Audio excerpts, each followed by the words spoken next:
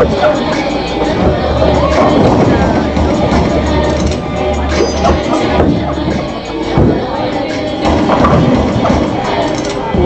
God's name did I do wrong?